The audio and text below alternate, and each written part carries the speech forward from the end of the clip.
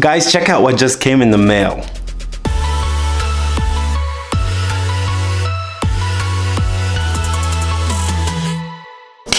Hey you! I forgot what goes after this.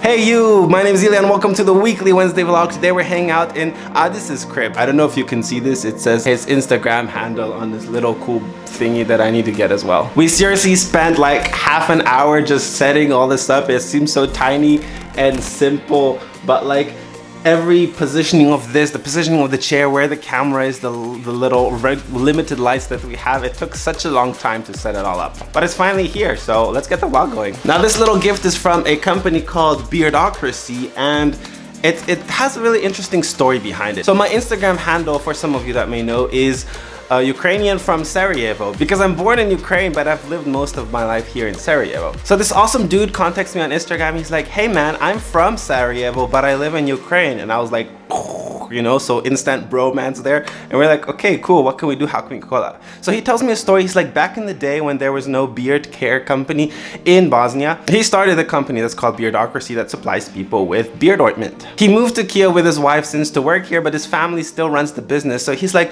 hey, you know what? I'm gonna send you a care package and you take a couple pictures in return and I was like hell yeah. So this arrived at my doorstep and I'm totally gonna open up and check what's inside and also show you guys how I would take some cool pictures of it. This little gray paper bag with like burlap baggies inside screams this whole homemade premium brand vibe which I absolutely dig so I can't wait to look what's inside. Woo!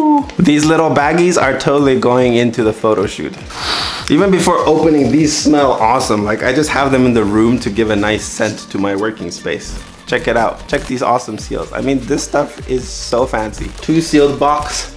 Says yam. Man, this stuff is so photogenic. Peter McKinnon will be but jealous. Everyone uses the same Oh, those are different colors. So many creams, I don't even know what these are for. So I'm gonna have to Google how to take care of your beard after I finish unpacking these. This is something flattish and cool looking. Wow. A pad for the boxes? Seriously, these products are more photogenic than like 80% of the people that I take pictures of. Check out this little comb. It's packed in a little bearded guy and says beardocracy on the bottom. And last little burlap baggie probably has all the oils. These little cute bottles. I mean, I just keep them because they're cute. Ow! How to use the products and everything is probably slightly outside of my average YouTube audience, so I'm not gonna do that. Let's get on to taking a picture. Here's our fancy setup.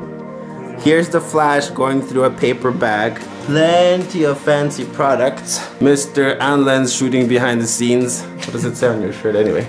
You'll, never, walk, alone. Liar. What do you think? Did you get some good shots? Yeah. And plus you have the B-roll.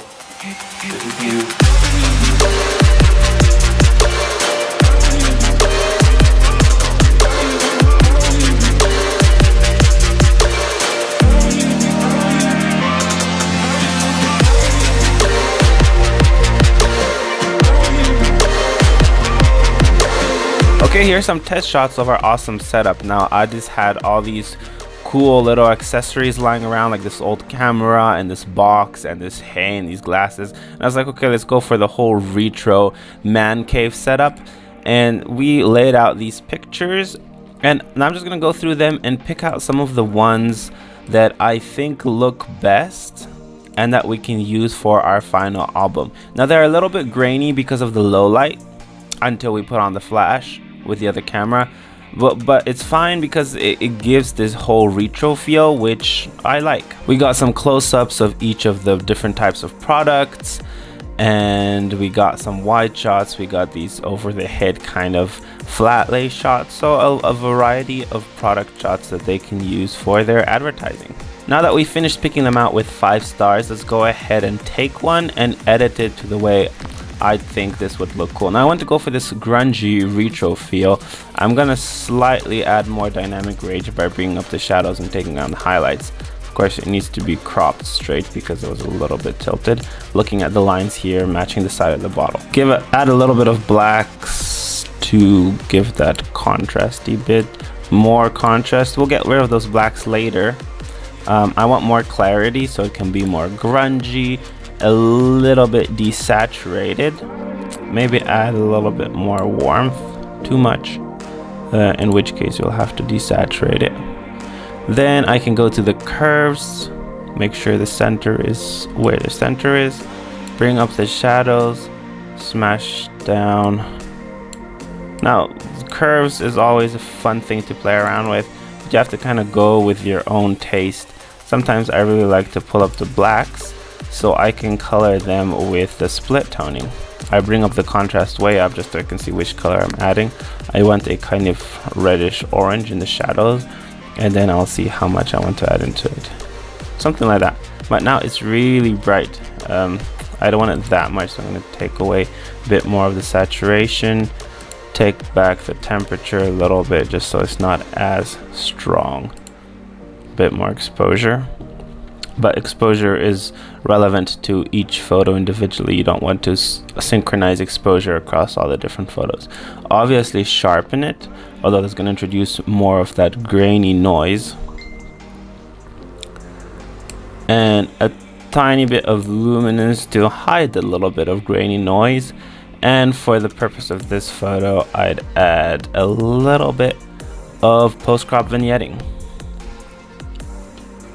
Now for some people this might be overdoing it, but I really want to bring across that retro feel. So I'm really going strong with all of these presets. If you don't like it that way, you can just minimize them by taking a bit down from the clarity, a bit less of saturation, a bit less of split toning, and you should have a milder look. Now I can select them all, synchronize them, and I expect these to look good on the flash photos as well. Yeah, it looks fine. And it even unites because the flash photos and the non-flash photos we're taking with two different cameras so it kind of unites them in the style now these are a little bit more blue so they appear more pink with the effects we put on them but you can really play around with it like if you want a much warmer feel you can bring the temperature way up and bring the saturation way down and then you have like that black and white sepia effect kind of and if you don't like it then you can bring the temperature down maybe more pinks down and you get a more kind of natural feel with more color. That is it guys. We took some cool pictures. I hope you learned something new. Thank you so much for watching as always. I'm going to see you guys next week. I have to repack all this and bring it home. You're not gonna take photos here? That was for the end of the vlog